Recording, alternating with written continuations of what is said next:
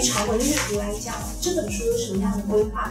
嗯，这本阅读书我们规划了三个项目哦。第一个项目是现代视野，好，那在现代视野当中，我们收录了长短一千字上下的完整白话文。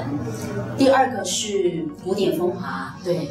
古典风华当中摘录了呃长短适中的文言文，另外我们也增加了第三个向度时空廊道，在时空廊道当中，我们让文言文和白话文自动发生对读的思考训练，带领着你们培养阅读长文的习惯，也让阅读能力自动升级。